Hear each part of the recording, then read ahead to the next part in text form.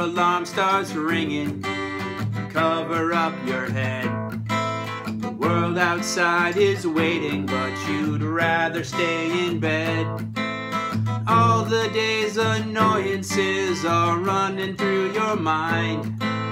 Waking up is difficult, but I'm sure you'll find that when you brew some coffee, the smell, the sound, the taste somehow make the day ahead much easier to face. The best part of waking up is Folgers in your cup.